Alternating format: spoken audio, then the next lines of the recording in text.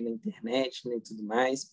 Então, vou dar um breve resumo assim, de alguns dos perigos que a gente tem na internet. Né? É, aqui são alguns dos tópicos que a gente vai estar abordando hoje, né? São algumas coisinhas que eu vou estar reforçando com vocês. Beleza, então vamos lá. Para começo de tudo, eu queria é, dar um breve resumo do que, que é um hacker para vocês, né? Porque a gente tem uma visão muito errada do que, que é um hacker. É, a gente está muito acostumado né, com aquela visão de hacker. O que, é um hacker? É aquele cara que a gente vê no cinema lá, que roda um monte de código esquisito na tela dele, e ele vai lá e consegue roubar os dados, invadir o governo, rouba dinheiro do banco, tudo mais. É, mas, na verdade, isso não é a definição correta de hacker. O hacker, na verdade, é basicamente uma pessoa que tem conhecimento muito avançado em informática e que ele trabalha desenvolvendo algum software, né, ou algum hardware para ele não necessariamente cometer um crime, né? Na verdade, até eu vou mostrar para vocês existem algumas categorias de hackers. Bom, então aqui a gente tem os principais tipos de hackers que existem. É, o principal, a gente vai ter aqui três tipos principais de hacker. A gente tem os white hat, os grey hat e os black hat. O white hat nada mais é do que a pessoa do bem. A gente chama de hacker ético. O que, que ele é?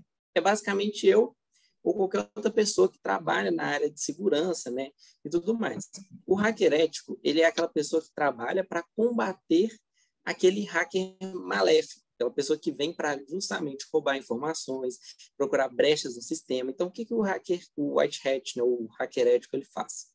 A gente tenta encontrar brechas nos sistemas, falhas de segurança, para poder reportar para a empresa falar, ó, aqui a gente tem uma falha de segurança nesse ponto, aqui a gente consegue fazer uma invasão nesse ponto, é, aqui tem uma senha que está vazando no sistema que você consegue encontrar.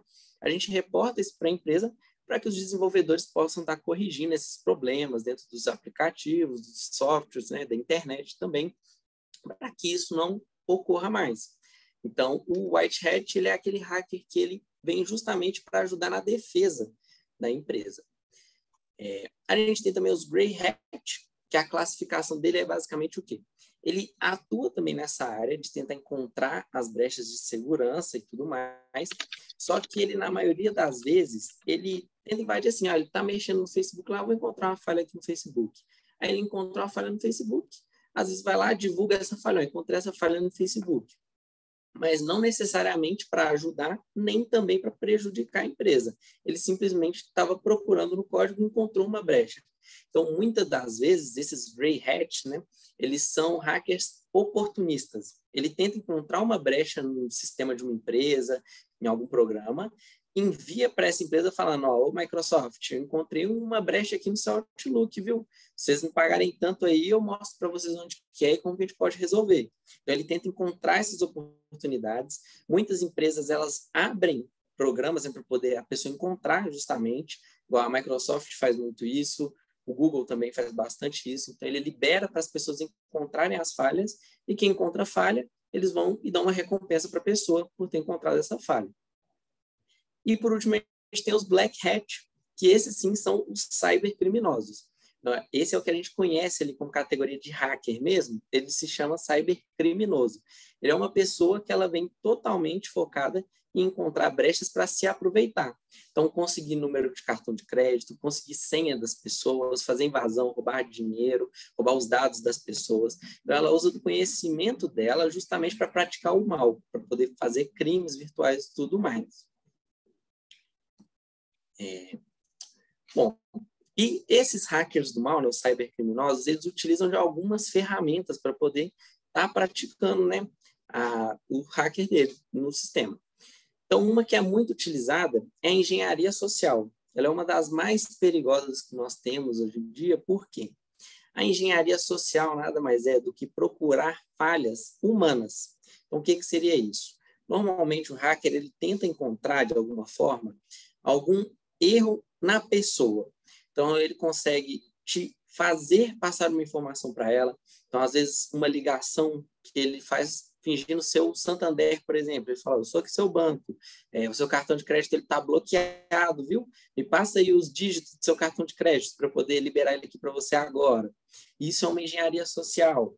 Ou então a pessoa chega na empresa, fala, ah, eu sou novo aqui na empresa, você pode me falar qual é a senha para eu poder entrar? Isso também é uma engenharia social. Então, ela é uma técnica que é utilizada para justamente encontrar nas pessoas o defeito que ela vai te passar a informação, tentar conseguir informações a partir de pessoas desavisadas. É, então, eles usam de algumas ferramentas, muitas às vezes são, por exemplo, no boca a boca, tentar descobrir a senha, igual mandar mensagem para alguém, falar, ô fulano, eu sou novo aqui, é, você consegue passar qualquer senha de acesso? Isso aí é uma falha que a gente acaba passando despercebido, a gente não presta atenção às vezes. Então, são alguns pontos que a gente tem que tomar cuidado. É, e, juntamente, esses hackers, eles utilizam de alguns vírus, né? A gente, normalmente, a gente fala, ah, meu computador está com vírus, mas qual que é o vírus que está no seu computador? Existe uma infinidade de tipos de vírus diferentes e cada um deles tem uma função diferente para justamente conseguir algo diferente é, do seu computador. Então, algum, eu listei aqui alguns dos principais tipos, né? Dar um resumo breve do que, que é esse vírus e para que, que ele é utilizado. Então, o primeiro que a gente tem aqui é o spyware. O spyware ele é muito parecido com o segundo que eu vou mostrar, que é o Keylogger. O que, que o spyware faz? É, ele vai basicamente, você vai lá, instala um programa, ele entra no seu computador e está lá instalado no seu computador. Você não percebeu, você não consegue identificar, ele fica lá escondido no seu computador. Ele vai pegar todas as informações que você envia, recebe no seu computador. Ele rastreia tudo que você faz, tudo. Então, os sites que você acessa, ele encontra, os conteúdos que você acessa, ele sabe, ele sabe as informações que você está acessando, é, e muitas das vezes ele consegue manipular as publicidades que vão chegar para você também. As propagandas, os ads que aparecem, muitas das vezes são esses spywares que controlam. Sabe quando você pesquisa uma coisa, aquela coisa que costuma aparecer demais? Muitas vezes isso acontece por conta de um spyware. Então, ele descobre que você tem interesse naquilo e começa a te replicar muitas vezes. Esse é um tipo de vírus que a gente tem. Muito parecido com ele, a gente tem o Keylogger. O Keylogger, ele é parecido na questão de rastrear o que você faz na internet, só que ele tem uma função mais agressiva, que é o quê?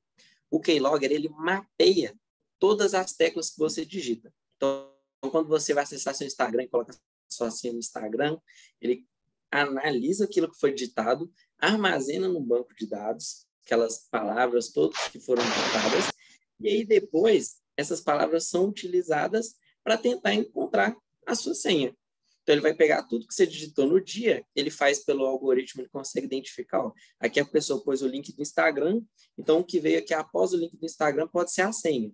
Ele pega aquilo que está escrito e começa a tentar, fazer tentativas para invadir as suas senhas. Então, o Keylogger, a função principal dele é essa, conseguir encontrar o que foi digitado e descobrir senhas, número de cartão de crédito no banco e tudo mais, ele encontra dessa forma. É, nós temos também o ransomware, que é o sequestro de dados, né? Qual que é a função desse vírus? Ele é um vírus que ele é mais utilizado normalmente em empresas, para invadir empresas. O que, que o ransomware faz? Você instala um programa no seu computador, o vírus vem junto ali, né? Normalmente, quando a gente vai baixar aqueles filmes pirata, vai baixar jogo pirata, essas coisas no torrent, tomar muito cuidado por conta disso, que esses vírus, eles vêm silencioso ali no meio. Ele vem junto com o programa, você não percebe que o vírus veio no seu computador e ele está lá instalado. Então, o ransomware, o que, que ele faz? É, você baixa ele lá, num, algum arquivo infectado, sem saber, às vezes, um anexo no e-mail que não presta atenção e tudo mais. Ele vai fazer uma varredura de tudo que tem dentro lá do computador, ele vai pegando todos os arquivos, tudo mais, encontrando. É, e aí, o que, que ele faz? Ele vai pegar, ele vai zipar todos os seus arquivos, ele pega lá todos os seus documentos, os documentos da empresa, tudo mais. Por isso que ele é muito usado em empresa, porque ele vai pegar os documentos importantes, ali, críticos, né, contrato, tudo mais. Ele arquiva tudo, faz um zip e ele criptografa esse zip de uma forma que você não consegue acessar ele. Você não consegue entrar, não consegue acessar os arquivos. O arquivo fica sequestrado literalmente, é um sequestro, só não é uma arma na sua cabeça. Mas ele sequestra seus dados, né, arquivos, e normalmente o hacker ele entra em contato com a pessoa quando ela tenta fazer é, acessar o arquivo, né, ele recebe uma notificação e ele entra em contato com a pessoa e fala, ó, Eu peguei seus arquivos, está tudo aqui ainda, você não perdeu nada. Mas se você quiser acessar esses arquivos, você vai ter que me pagar uma quantia para poder ter os seus dados de volta. E muitas das vezes acaba que as empresas, por precisarem de documento, acaba pagando esse sequestro, né? Porque só a pessoa que fez o hack, na maioria das vezes, que vai conseguir liberar o acesso novamente. Então, as, as empresas costumam pagar esse sequestro para conseguir os arquivos de volta, e aí o hacker devolve os arquivos, na maioria das vezes, né? às vezes nem isso devolve, e a pessoa tem um acesso novamente. Mas alguns três tipos de vírus que a gente tem aqui dos comuns. O quarto deles é o backdoor. O backdoor ele é um vírus também silencioso, você não percebe que está instalado no seu computador. E qual que é a função dele? Ele tenta deixar um acesso secreto no seu computador, para que a pessoa consiga acessar o seu computador por inteiro. Então, sabe aquele mito, né, que as pessoas falam de ah, tem que tampar o webcam senão os outros vê. É dessa forma que funciona esse acesso. O hacker ele consegue um acesso pelo seu computador, você baixa um programa, ele instala esse backdoor nele, você não fica sabendo, ele tem acesso ao seu computador por uma porta, uma porta do seu roteador, que vai dar um acesso direto para ele, como se fosse um Ndesk, sem você permitir nem nada, e ele consegue acessar seu computador, ver seus arquivos, suas senhas salvas, consegue acessar sua webcam. Então, por isso que é muito importante estampar o webcam, porque às vezes ele consegue acessar sua webcam, é, então é uma coisa muito perigosa, né? Então, o backdoor ele funciona dessa forma. A pessoa instala esse vírus no seu computador e consegue acessar ele através desse acesso que ele deixou salvo lá dentro. É, nós temos também os worms. O worm, o que, que ele seria? Ele instala no seu computador e ele começa a se multiplicar. Você baixa, por exemplo, um arquivo, um anexo de e-mail que tem um wormzinho dentro dele. Quando ele entra no seu computador, ele começa a se multiplicar, se multiplicar, se multiplicar no computador, vai enchendo de mais vírus e mais vírus e mais vírus. É aquela história do Baidu, né? Que você baixa o Baidu, já vem o HAL, já vem 500 outras coisas junto. É desse jeito que ele funciona. Ele vai instalando uma infinidade de coisas e, além disso, ele consegue manifestar pela rede também. Então, por exemplo, se na empresa, se aqui na empresa, um computador tivesse um wormzinho, ele ia passar para todos os outros computadores e ele vai infectando até não parar mais. Então, é assim que o worm funciona. E o último que nós temos é o trojan. A gente chama de trojano, mas também chamado de cavalo de Troia. O que, que seria ele?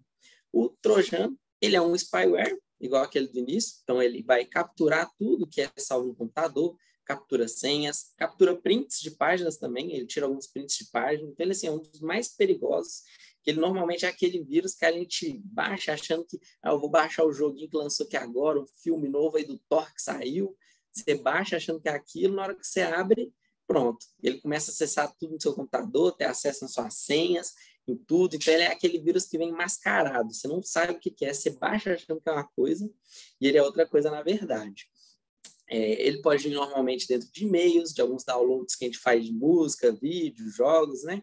Algum site que você clica no link errado, você quer assistir lá o jogo do Brasileirão sem pagar, você clica no link, aí ele baixa no seu computador um trem, você não sabe o que, que é. É isso que ele costuma baixar. Então, ele é muito perigoso, a gente tem que tomar muito cuidado na internet, né? Com as coisas que a gente acessa, com os links que a gente clica, justamente por isso, porque existem infinitas. Isso aqui são, assim, seis tipos que eu estou explicando para vocês, mas que existem infinitos tipos de vírus diferentes, que eles agem de várias formas no nosso dia a dia, né? É, bom, falando aqui agora sobre o vírus, o último tipo que eu deixei para o final é o phishing, porque ele é um tipo muito importante para a gente falar sobre ele. O que, que seria o phishing? O phishing ele é um dos vírus mais assim agressivos que a gente tem, porque o que, que ele faz? Ele é um ataque que ele tenta roubar o seu dinheiro ou a sua identidade. Ele tenta fazer você revelar suas informações. Então, esse aqui é aquele famoso, né?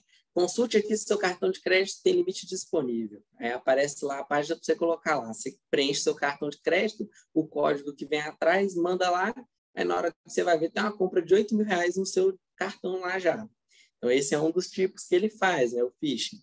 É, ou então, ele te manda um link, você fala, ah, esse link aqui eu vou clicar. Aí você clica, preenche as coisas dentro do link lá, você vai fazer um login no Facebook, por exemplo, aí você vê, essa página do Facebook está diferente, você preencheu o login lá, e aí ele acessou depois, mas está uma coisa estranha dentro dele.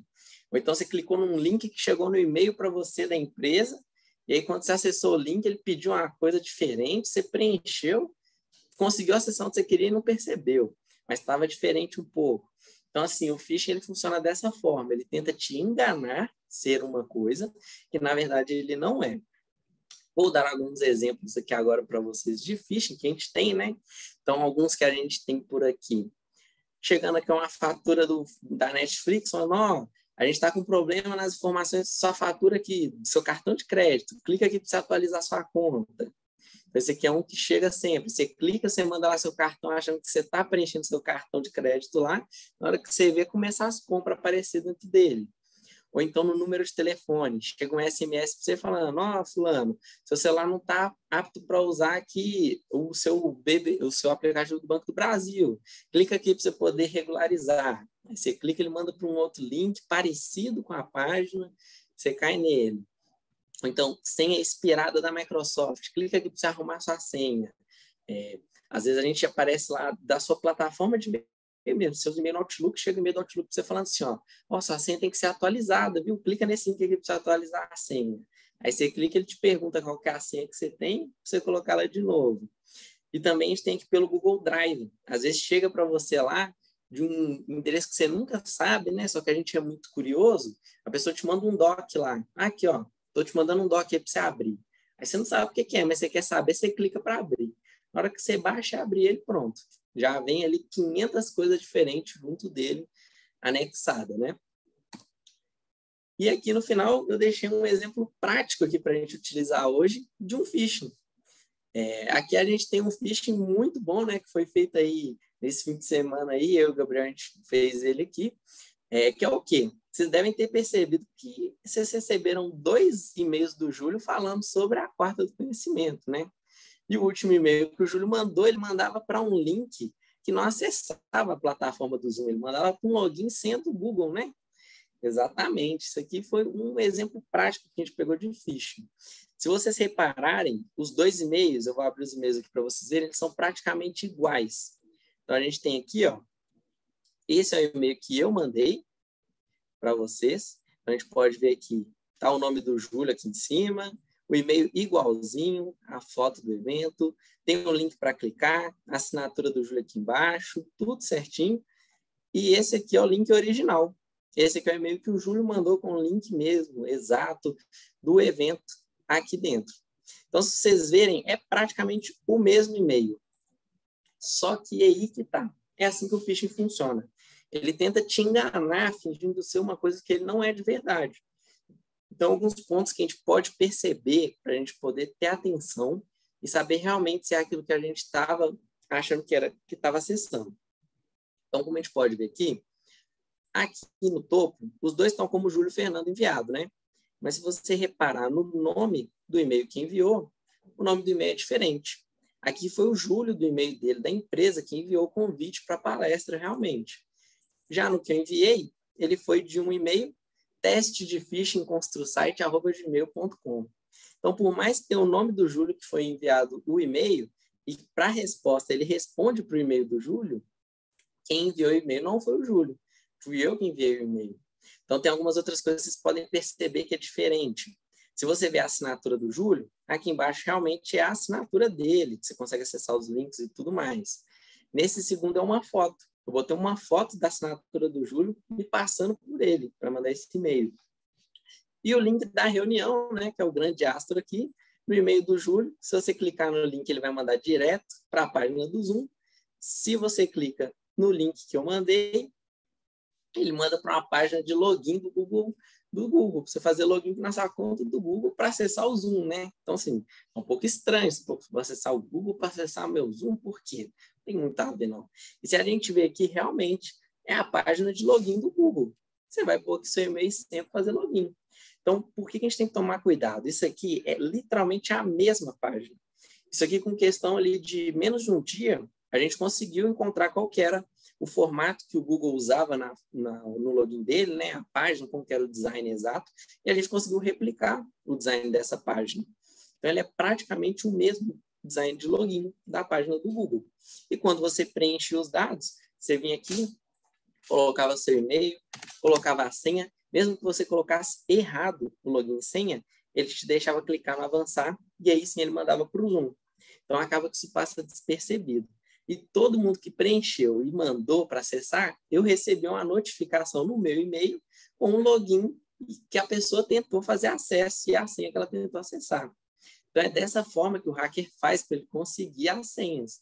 Você preencheu aqui, ó. Eu preenchi aqui o meu agora. Cliquei em avançar, me mandou para a página do Zoom para acessar a reunião. Então, assim, se você não presta atenção, você preenche umas coisas assim, sem nem perceber, e acaba mandando. Isso aqui que eu acabei de preencher, esse login senha, chegou para mim no meu e-mail. Login senha de todo mundo que preencheu. Então, é dessa forma. O hacker, ele tenta te enganar. Você pensa, putz, preenchi aqui, deve que meu Google deslogou, né? Vou logar rapidinho. E você manda, e ele chega para a pessoa login e senha. Então, alguns pontos que a gente pode prestar atenção nesses casos para evitar que isso ocorra. Se você ver aqui em cima, o link que ele está acessando não é o link do Google. Está no link prove.construsite, um link todo estranho aqui no final, que não é o link do Google de verdade. Quando você preenche o e-mail, a gente consegue ver que tem alguns defeitos no visual. Né? Então, aqui, por exemplo, eu preenchi o e-mail e tirei o meu mouse, ele tampou de novo o e-mail. A senha, se eu colocar uma senha, eu coloquei uma senha aleatória. Ele me deixou acessar com essa senha também. Então, assim, dentro do próprio e-mail, se você passa o dedo em cima do link, eu coloquei aqui na palestra para mostrar para vocês, ele consegue me mostrar exatamente qual que é o link que a gente tentou acessar aqui, ó. Deixar aqui. Aqui dentro do meu e-mail, ele está mostrando para a gente, ó. O link, se você clicar, parece exatamente o mesmo link do Júlio. Só que quando você acessa ele, é um link diferente. Então, são pontos que a gente tem que prestar atenção até no próprio e-mail. Às vezes, é justamente nesses casos onde a gente não espera nada que realmente acontece o perigo. Aqui você está esperando, nossa, beleza, é o e-mail aqui da empresa, foi o pessoal da empresa que me mandou o e-mail. Vou, vou abrir, né? Pô, não tem nada, não. Aí que está o perigo, né? Sempre quando a gente mais confia, que a gente está mais relaxado, que acontecem os problemas nesses casos. Então, esse foi um exemplo para a gente tomar cuidado né, com algumas coisas nessa questão, para que não ocorra mais com a gente. Né? Eu tenho certeza que já aconteceu com alguém, porque já aconteceu comigo também, é, uma situação assim. Então, são coisas que a gente tem que tomar bastante cuidado e ser bem criterioso. Então, qualquer tipo de e-mail que chega para vocês, vocês têm que prestar atenção nos anexos, nos links que aparecem dentro do e-mail. Tudo a gente tem que tomar cuidado. Pode ser assim, Pode ser o Caio que mandou o e-mail para você, pode ser seu chefe, seu pai mandou. Se tem alguma coisa que você tem algum receio ali dentro, um anexo que você não esperava, é, tem que prestar atenção nisso, porque são nesses casos que a gente tem é, a maioria das invasões, os vírus sendo instalados, é quando a gente menos desconfia. É, bom, agora a gente vai mudar um pouquinho aqui no assunto nós vamos entrar aqui na parte das senhas. Eu sei que isso aqui é um problema assim que atinge não só a gente na reunião, mas aí 90% dos brasileiros para mais tem problema com senha. Então vamos lá, pessoal. Vocês sabem como que criar uma senha segura? Claro que sabe, né? Todo mundo aprendeu desde pequeno. Como é que eu faço uma senha segura? É tranquilo, pô. A senha eu vou pegar, vou colocar aqui um, alguns exemplos de coisas que a gente tem que pôr na senha forte. Eu jogo um monte de caractere na minha senha, vou colocar uma palavra aqui que eu sei, o nome do meu cachorro, Floquinho. Ninguém tem Floquinho no mundo mais, é só eu que tenho Floquinho. É, e vou colocar aqui um número, me pediu um número para eu pôr na senha. Putz, vou pôr aqui 2022, né? É o ano que a gente está, não vou esquecer. É o ano que a gente está. Aí tem com um caractere no final especial.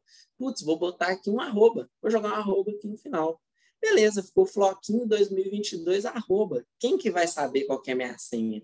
Ninguém. Ninguém vai saber que essa é minha senha, não. A senha é super segura, só eu que conheço ela.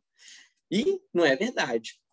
A gente fica nessa, esses aqui são os critérios que a gente tem, né, de, de senha segura. É assim, é o que a gente pode fazer para deixar uma senha mais segura. Então, quais são os critérios que a gente utiliza normalmente? Colocar ali no mínimo uns 12 caracteres para ficar uma senha mais extensa, para ficar uma coisa um, dois, três, arroba Jesus. Rápido. Não, a gente coloca um pouco mais de caractere para dificultar. É, combinar letra, número e símbolo. Ah, putz, o banco não quer deixar eu colocar aqui minha senha 2022 arroba, pô. Coisa chata, né? Exatamente, a gente tem que misturar tudo. Joga uma letra, um número, um arroba, um hashtag, mistura um monte de coisa. Colocar os dígitos né, do zero até o 9, normalmente. Alguns símbolos diferentes, então, um arroba, um porcentagem, um, alguns, quanto mais diferentes, quanto menos utilizado for o símbolo, melhor ele é em questão de segurança. E colocar também algumas letras maiúsculas e minúsculas. Isso também é uma coisa que impacta muito também na senha. Beleza, Matheus. Fui lá, criei uma senha aqui que você sempre falou, cara. 18 caracteres na senha, gigante, bom testamento. Coloquei oito números aqui dentro, 50 letras, três maiúsculas, cinco minúsculas. É, coloquei arroba, hashtag, cifrão, tudo que tinha disponível aqui no meu teclado eu coloquei. Minha senha tá segura agora, né, velho? Ninguém vai invadir meu e-mail nunca mais. Errado. Por que que tá errado? porque isso é o que a gente pode fazer, o que o ser humano consegue fazer para deixar assim o mais seguro possível. Não necessariamente vai ser uma senha segura. Isso aqui é o máximo que você conseguiu colocar de segurança numa senha para você lembrar. E o problema é esse. Quando a gente cria senhas que a gente consegue lembrar, ela é uma senha mais fácil de ser desvendada. Por quê? Porque normalmente você vai colocar o quê? Uma palavra que você lembra. Então, o nome de um animal de estimação, o nome de um parente seu, algum momento ali, número, você vai pôr algum momento que foi específico para você na sua vida, algum número que te marca, ou então o número de sua casa do telefone. E o caractere especial, normalmente, a gente utiliza os mais simples, né? Então, a gente vai de arroba, hashtag, que são os mais fáceis de acessar e lembrar. E qual que é o perigo maior ainda na hora de criar a senha? A gente sempre cria a senha para as mesmas coisas. Eu tenho certeza que de todo mundo que está aí no chat, uns 15 no mínimo, usa a mesma senha para mais de cinco sites. Pode falar, pessoal, eu sei que é, porque eu também já fui assim, e isso é o maior perigo de todos, gente. A gente pensa assim, nossa, eu vou criar uma senha aqui que ela é super difícil, que é 12 caracteres diferentes, ninguém nunca vai saber, eu vou usá-la em tudo, é a senha é muito segura, que só eu pensei no mundo inteiro. Pô, quem vai pensar essa senha? E esse é o problema. Numa dessas, às vezes o que acontece? As pessoas, ela não vai tentar pegar, ela vai pegar aqui, por exemplo, ah, eu vou pegar aqui no Marcos, hoje eu quero descobrir a senha do Marcos. Aí ele vai ficar tentando ali no, no e-mail do Marcos 500 vezes para pegar a senha dele. Não vai conseguir. Ele vai tentar, ele não vai tentar, tipo assim, o hacker ele não tenta focar em uma pessoa específica. Ah, eu vou hackear aqui o e-mail do presidente, pô. Se tiver o e-mail do presidente, eu vou dominar o Brasil, então eu vou pegar a senha dele. Não, não é assim que funciona. Na maioria das vezes, quando as senhas são vazadas, o que, que acontece? Os hackers eles tentam acessar os grandes portais, né, os grandes sites que têm cadastro de senha, justamente pelo fato das pessoas acessarem é, tudo com a mesma senha. O que, que ele faz?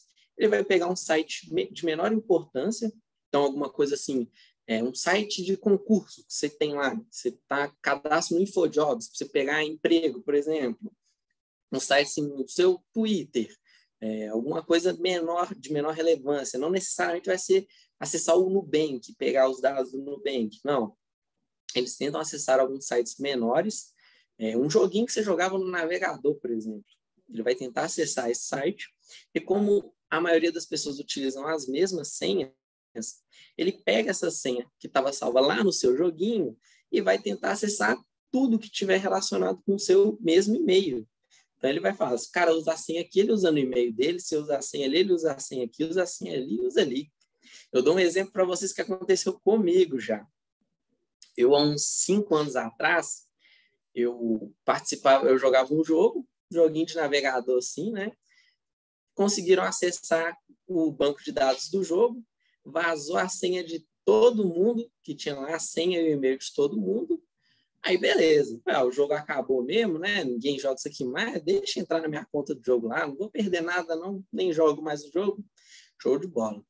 Passou um mês, eu recebi uma notificação do Spotify que tentaram acessar minha conta do Spotify lá da Tailândia. Eu falei, nunca fui para Tailândia, por que estou tentando acessar minha, meu Spotify de lá? Aí eu fui e ignorei. Passou uma semana, meu Twitter tentou ser acessado da França. Falei, gente, nunca saí do Brasil, como é que tentou acessar da França do meu Twitter? Aí eu ignorei também. Aí passou mais um tempo, começou a piorar, começou a ter acesso, tentativa de acesso em tudo, meu Facebook, meu Instagram, tudo. E eu usava a mesma senha para tudo. Então, foi tentando acesso em tudo. Até que um dia acessaram minha conta do 99 Pop, aplicativo de carro, que eu usava a mesma senha que eu usava no joguinho online, que tem meu cartão de crédito vinculado no aplicativo, e fizeram mais de oito tentativas de compra de dois mil reais no cartão de crédito. Então, assim, na época eu não fui hackeado, não conseguiram fazer as compras no meu cartão de crédito, porque eu tinha bloqueado o cartão assim que eu vi a notificação, e depois saí mudando a senha de tudo. Porque eu percebi que era por conta disso. Eles conseguiram acessar uma senha inútil minha de um site que eu nem ligava mais e foram tentando em tudo até que quase conseguiram roubar dinheiro meu com a senha do meu joguinho. Então, esse é o perigo da gente utilizar a mesma senha para tudo. Se uma senha sua vaza, todas as suas senhas vazam, se você usa ela para tudo. Então, como você tem formas para você verificar se sua senha já vazou, por exemplo? Uma delas que a gente tem aqui é um site que se chama Have I Been Found? Esse site aqui, ele te mostra se o seu e-mail já vazou em algum dos grandes vazamentos. O que, que acontece? É, digamos que o Twitter hoje ele é hackeado, e aí as senhas, os e-mails são vazados dentro do, do Twitter. Ele é obrigado, por lei, a informar os usuários que as senhas foram vazadas, que é para a pessoa justamente poder trocar senhas, né, ter segurança e modificar isso. Então, sempre que acontece algum grande vazamento desses, eles informam para a mídia, para os usuários, e esse site ele tem um banco de dados com todos os vazamentos que já ocorreram até hoje, os grandes vazamentos. Então, assim, ele tem aqui mais de 11. Olha, olha esse número, gente. Olha o tamanho do número. O tanto de contas que já vazaram, é, o tanto de sites, já foram mais 639 sites que já tiveram senhas vazadas, que ele tem salvo no banco de dados dele. Então, se você vem aqui e coloca seu número de telefone ou seu e-mail, vou pôr meu e-mail pessoal, por exemplo. A gente entra aqui no meu e-mail, olha só. Meu e-mail foi vazado. Então, aqui ele mostra para mim exatamente onde que vazou. Esse site que é de Modo, em maio de 2017, essa plataforma aqui diz tudo eu usava na escola, provavelmente, para pegar trabalho pronto, né, da, da escola para a gente preencher, né? Então, ele vazou, ele teve um vazamento. O que, que foi comprometido? O que, que vazou na época? O e-mail, a senha e o usuário de todo mundo que estava cadastrado nesse site. Então, esse aqui é um exemplo de um dos vazamentos que teve, e ele te mostra exatamente o vazamento de tudo relacionado ao seu e-mail. Então, se o seu e-mail tiver algum vínculo de vazamento, ele vai exibir para você dos maiores que já ocorreram, né? Então, o Facebook também teve uma época que teve vazamento. Então, assim, eu aconselho todo mundo depois, eu vou mandar o link para vocês, vocês poderem estar olhando para ver se é, já teve um vazamento nos e-mails de vocês e tudo mais. Então, é uma coisa assim, se teve, tá na hora da gente começar a mudar, né, gente? É, então, aqui a gente tem alguns, algumas dicas né, de coisas que devem ser feitas na hora de criar uma senha. Apesar de, por mais segura que seja a senha, ela tem a chance de ser vazada ainda e tudo mais, é, a gente pode tentar amenizar ao máximo essas tentativas de acesso. O que a gente deve evitar? Escolher senha parecida, então não usar a mesma senha em tudo. Nem parecida, tá, gente? Não é? Você não vai colocar uma senha sua, Joãozinho123, na outra Joãozinho123, arroba. Nossa, é outra senha. Não é praticamente a mesma com um caractere a mais. Então, evitem isso. Evitar usar nome e sobrenome dentro do e-mail. Então, por exemplo, Mateus, eu vou comer a senha, Mateus, arroba 123. Nossa, ninguém vai pensar que meu nome é minha senha, né? Então, evitar isso também. É, escrever palavra ao contrário. Ah, em vez de Mateus, eu vou Teus, mano. Quem que vai pensar? Pô, também é um, uma falha que a gente faz compartilhar a senha, gente. Eu sei que às vezes putz, você está ali na pressa, você precisa, ah, fulano, pega aí para mim o negócio. Aí a pessoa, ah, qual que é a senha para acessar? Aí você vai e fala a sua senha. Pode ser a pessoa de maior confiança do mundo, gente. Pode ser seu, seu pai, seu melhor amigo. Às vezes você fala para a pessoa, a senha é tal, fulano. Aí tem alguém que está do lado, mal intencionado, anotou a senha. E aí? Então, assim, evita compartilhar senha. Se precisar compartilhar senha, existem mecanismos seguros para poder passar a senha pela pessoa. É, existe, por exemplo, uma extensão que a gente utiliza que é o Flow Crypt, que é uma extensão que você consegue mandar pelo e-mail criptografado a senha. Então, é uma forma mais segura de compartilhar senhas do que a gente simplesmente falar, mandar. Vou mandar no WhatsApp para você ir a senha, vou mandar para você ir no e-mail. É uma coisa que não é muito recomendada e segura de se fazer. Anotar a senha perto do computador. Eu uso meu computador aqui no escritório, eu vou deixar a senha colada aqui em cima dele, né? Que se eu esquecer, já está aqui na minha cara. Não. E qualquer pessoa que chegar no seu computador vai ver a sua senha lá anotada e vai acessar ela, né? Então, assim, não é uma boa é, prática a gente fazer isso também. Entre outras práticas que a gente deve evitar também estar fazendo. É, e o que a gente deve tentar? Escolher uma senha que você vai lembrar, mas que não seja tão simples. Alterar a senha com uma devida frequência. Não usar a mesma senha para várias contas. Escolher uma senha que você vai aprender a digitar ela facilmente, sem ter que olhar para o teclado, para não facilitar para as pessoas verificarem que você está digitando e transformar em alguns acrônimos, acrônimos, as senhas.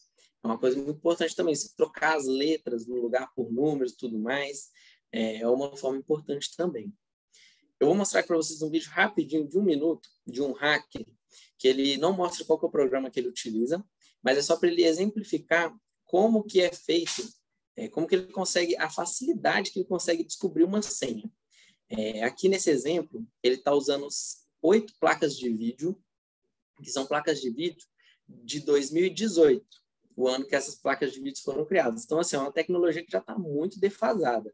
Um hacker, hoje em dia, ele consegue diminuir muito tempo por causa da tecnologia. Então, aqui ele roda o algoritmozinho dele aqui, né, com algumas regras, é, alguns dicionários com palavras pré-feitas, rapidinho. Ele vai rodar aqui para a gente.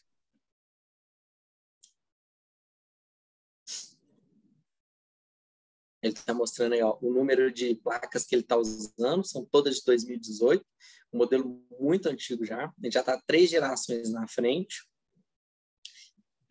É, aqui no final do teste, ele mostra para a gente qual foi o tempo que ele gastou para ficar, para conseguir hackear as informações. Então, ele não chegou a gastar um minuto para hackear as informações ele conseguiu, em questão de segundos, com uma tecnologia de 2018, descobrir qual é a senha. A senha é essa que está aparecendo aqui embaixo. Olha o tamanho da senha, gente. Se vocês acham que a sua senha de oito dígitos aí, um arroba, um númerozinho no final, a senha segura, cara, isso aqui mostra para a gente que a gente está ferrado. Não tem como. A senha que o cara conseguiu descobrir em questão de 30 segundos com a tecnologia que já está assim, anos defasada ela tem infinitos caracteres. Olha o tamanho dessa senha. Então, assim, por mais que a gente tente, que a gente se esforce para ter segurança, para a gente conseguir é, manter as senhas o mais seguro possível, a pessoa que está mal intencionada, ela vai conseguir descobrir. Então, o que resta para a gente é fazer o máximo que a gente pode para manter o mais seguro possível. Então, como que a gente pode fazer para a gente... Ah, como eu vou fazer para criar uma senha segura, que eu vou lembrar dela, é, pô, o tamanho dessa senha não tem como eu decorar isso e o cara ainda conseguiu descobrir a senha. A gente tem algumas formas gente poder estar tá mantendo essas senhas o mais seguro possível, né? E mais fortes também possíveis. Então, como que a gente faz para guardar as senhas? Uma ferramenta muito útil que a gente pode estar tá utilizando é o gerenciador de senha. O que é o gerenciador de senha? Ele é um programa, como se fosse um banco de dados, onde ele vai salvar todas as suas senhas, todos os seus aplicativos, tudo, tudo. Ele salva todas as senhas lá dentro e você só vai precisar lembrar a sua senha mestra, que é a senha para acessar ele. Se você esquecer ela também, você não consegue acessar nada, né? Então, a gente tem que lembrar a senha que a gente usa para acessar o aplicativo e todas as outras senhas ele vai manter ali salvas dentro dele. Ah, mas isso aí é, não é seguro, não. O cara vai, vai ter todas as minhas senhas lá anotadas. Se for para fazer isso, eu anoto no meu bloco de notas aqui, é muito mais fácil, não é não? Não. Por quê? Esses gerenciadores de senha, eles têm dentro da programação deles criptografia para senhas. Então ele vai criptografar todas as suas senhas dentro dele. Ele deixa todas elas criptografadas de forma que se acontecer uma invasão, a pessoa não vai conseguir ler sua senha. Ele vai ter lá o arquivo, sua senha vai estar preenchida lá dentro. Só que ele não vai conseguir acessar nem ler a senha. Então vai estar criptografada. Então a grande vantagem do gerenciador de senha é essa. Pode gerar senhas. Então, como que a gente faz? O que, que você pode fazer para melhorar essa segurança? Você pode pegar a grande maioria dos gerenciadores, eles já têm dentro dele é, um gerador de senha automática.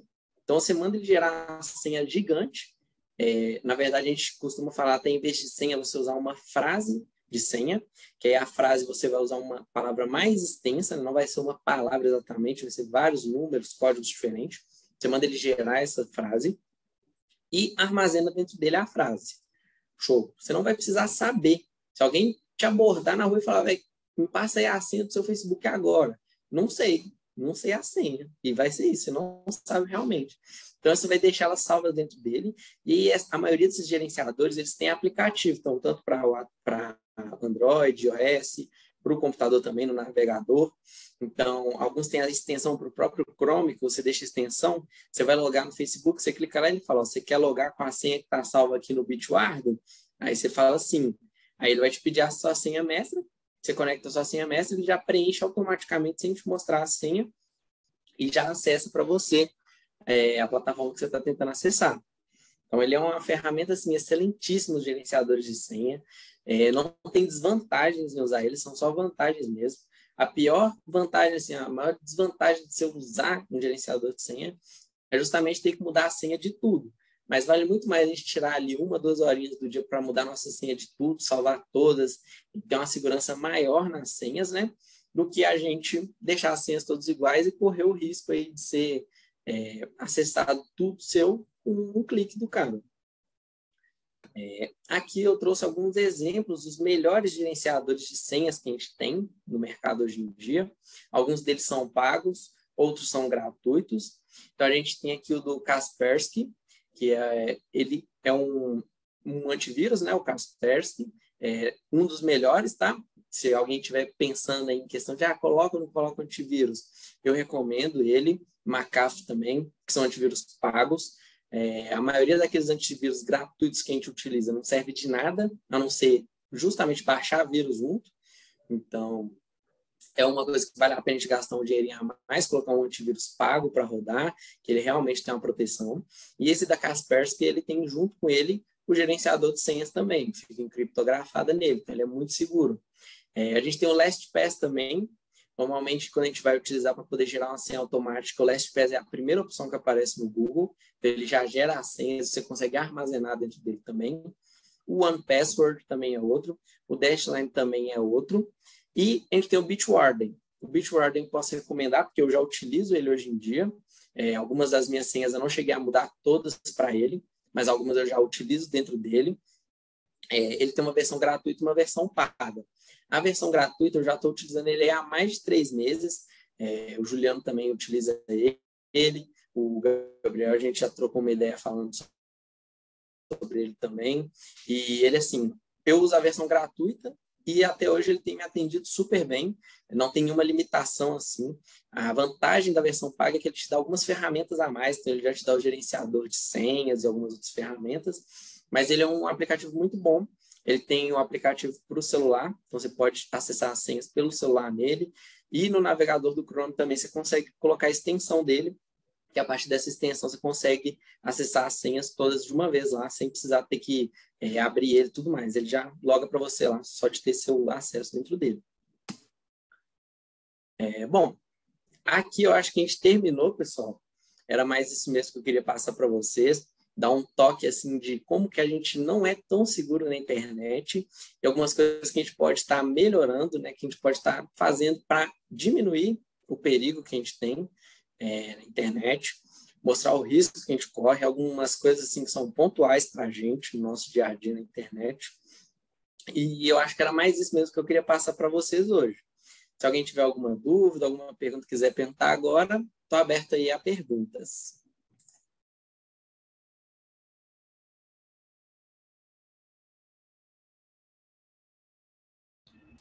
Matheusão, é, só contar um, um, um caso rápido para a galera aí. É, o Galaxy Pay, essa semana passada aí, retrasada, sofreu assim bastante por causa de, de um hacker né, que não invadiu a plataforma nem nada, né? Eles usaram a forma mais assim boba de todas para poder roubar dados dos clientes foi justamente a mesma forma que você fez aí essa brincadeira com a galera do phishing, né? O que, que eles fizeram? Eles é, fizeram uma cópia idêntica do site do Galaxy Pay, idêntica, idêntica, idêntica, né? É, e eles registraram o domínio Galaxy-Pay. Então, assim, eles pegaram um domínio muito parecido por causa de um hífen no domínio, né? A pessoa acessava, eles anunciaram no Ads, então a pessoa procurava no Google ao invés de digitar o URL direto. Primeiro que aparecia lá, ela clicava por causa de um hífen lá. É, a URL era diferente da original, né, que é sem hífen. O cara colocava lá os dados de login, pedia SMS, que é um sistema de segurança, um reforço de segurança, digitava o SMS lá. Só que a pessoa, além de não ver o hífen, além de ir pelo link errado, ela recebeu o SMS falando que era para autorizar um Pix. E aí ela ia lá e digitava o SMS na tela de login e ficava lá digitando vários, né? Tentando logar e não logava nunca. Né? Então, assim, isso aconteceu é, durante um bom tempo, é uma quadrilha gigante com atuação mundial, pessoal é tipo uma franquia de dar golpe na internet. Então, assim, é, só para reforçar o tanto que o pessoal tem que ficar atento na hora de, de acessar um site, na hora de né, acessar algum serviço, porque realmente, por questão de detalhe ali, né, é, você pode acabar perdendo dinheiro, e teve muita gente que perdeu dinheiro nessa brincadeira aí. Então, ficar esperto aí, turma. Exatamente, gente. É igual o Caio falou mesmo, é, a gente tem que tomar muito cuidado para vocês verem. O link era diferente, mas por um hífen tinha um hífen diferenciando ali o link do Galaxy Pay para o link do domínio exato deles. E tem gente que clica realmente, gente, assim, no dia a dia a gente está estressado, a gente está com pressa fazer as coisas, você não vai prestar atenção, você vai clicar na primeira coisa que aparecer. Então é uma coisa que a gente tem que prestar muita atenção nisso. É, eu já passei por um golpe assim, parecido, é, uma experiência que eu tive uma vez, eu já contei para quase todo mundo, porque eu falo, gente, ó, precisa presta atenção no que vocês fazem. É, eu, um tempo atrás, eu ia vender um videogame na internet, eu anunciei o videogame, estava com necessidade de vender ele, que eu precisava do dinheiro que meu celular tinha estragado, precisava trocar de celular. E aí, na pressa de vender, apareceu um cara, pô, tô, vi seu anúncio aqui no Mercado Livre, vou comprar, vou te pagar até mais aí para você mandar hoje para mim. Eu, felizão, nossa, vou vender hoje, tá, vou mandar, cara. Aí, o que, que ele fez? Ele falou comigo: Ó, oh, acabei de comprar aqui no anúncio no Mercado Livre, vai chegar um e-mail para você confirmando que eu comprei. Aí, assim que chegar o e-mail, você já pode cancelar o anúncio lá para ninguém mais tentar comprar, viu? Beleza? Aí eu olhei meu e-mail, realmente chegou lá uns cinco e-mails falando: ó, produto vendido, tal, o endereço que você mandar a compra tudo mais, chegou lá para mim no e-mail. Aí eu fui lá, cancelei o anúncio no Mercado Livre, peguei os dados todos e falei: ó, o endereço é esse aí para você mandar, fui lá no correio e olha para vocês verem como que é as coisas. Eu ainda tive chance de voltar atrás. Porque na hora que ele me mandou, fui lá no correio para poder fazer o depósito do produto. Aí o cara do correio falou, mas não, imprimiu nenhuma notinha fiscal, não? Porque quando a gente vende no Mercado Livre, normalmente manda uma notinha para você poder enviar. Eu falei, não, não, não imprimiu nada, não, só isso aqui. Aí eu mostrei para ele o e-mail, tal, que eu tinha recebido, falei, ah, não, beleza. Postei o produto, mandei para o cara, é, no outro dia chegou a notificação para mim que tinha chegado o produto. Fui mandar mensagem para cara falando: ó, chegou o produto aí tudo certinho e tal.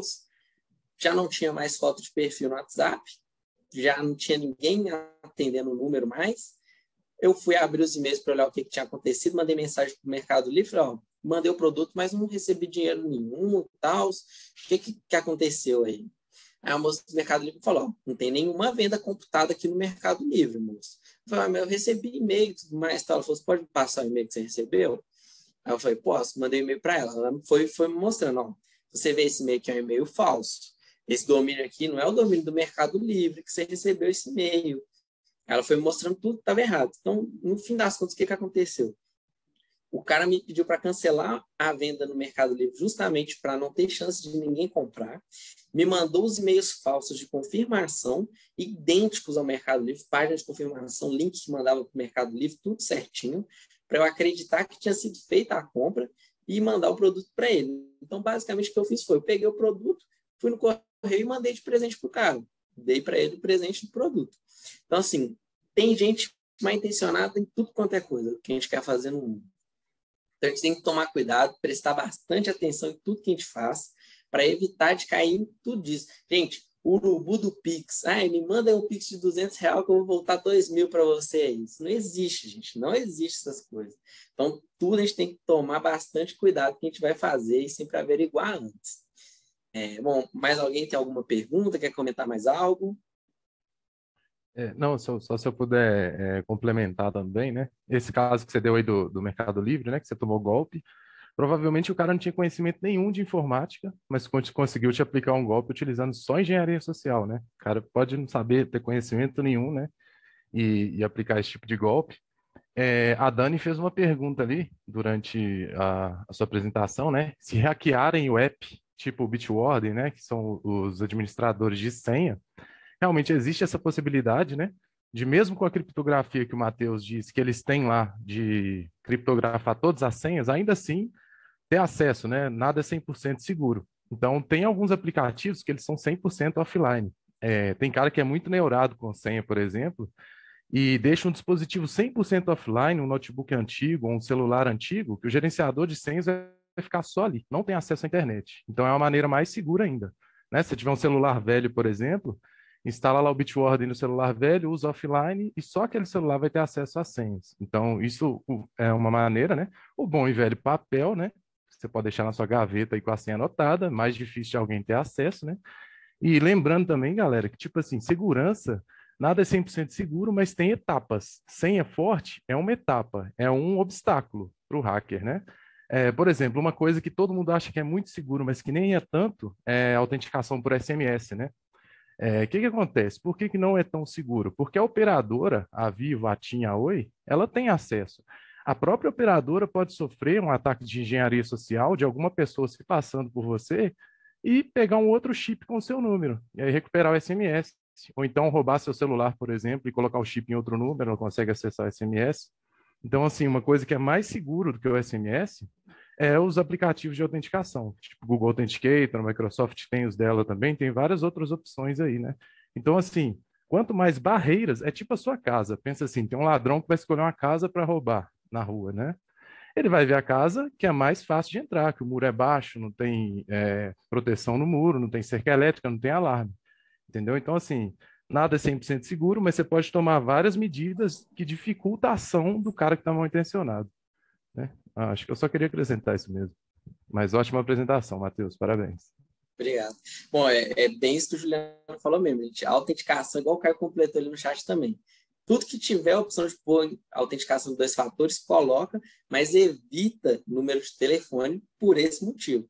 Telefone, vocês já trocaram de celular, sabe como é que é? Você pega o chip, põe outro celular, funciona tudo, tem suas ligações, suas mensagens, tudo aparece lá dentro. Então, o cara ele rouba seu celular. Ah, eu tenho iPhone, pô, você não consegue acessar meu celular, não. Super seguro. O cara vai arrancar seu chip, vai pôr em outra coisa e vai conseguir. Seus logins, senha, tudo facinho para poder acessar com autenticação. Então, assim, um aplicativo de autenticação dois fatores é a melhor forma. Até e-mail não é tão viável, porque seu e-mail tem chance de ser hackeado e a pessoa conseguir acessar e trocar também. É, então, é, faz com um aplicativo o do Google, por favor, seja a última opção de vocês, gente, que ele é uma bosta. É, é eu ia falar isso. Mas é isso mesmo. Ele, assim, às vezes ele atualiza e ele tira tudo que você colocou lá, de autenticação. Então, evito do Google, procurem outros. É, mas é uma boa opção também, sempre ter autenticação. É, mas, um tipo, exemplo aqui. Tem... Não, pode falar, né? Foi mal.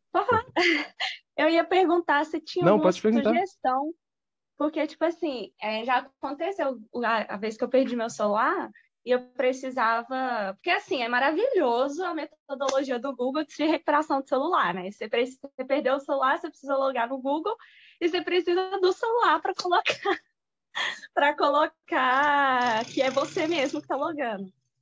Então, é, eu ia perguntar se tem alguma outra sugestão de, de acontecer alguma coisa, porque a autenticação de dois fatos de ela é boa, mas aí se você está sem celular, fica zicado. Aí eu ia perguntar se tem alguma outra alternativa, outra sugestão para casos desse tipo, que se perdeu o celular, ter como recuperar ou acessar alguma coisa de uma forma mais rápida, sabe?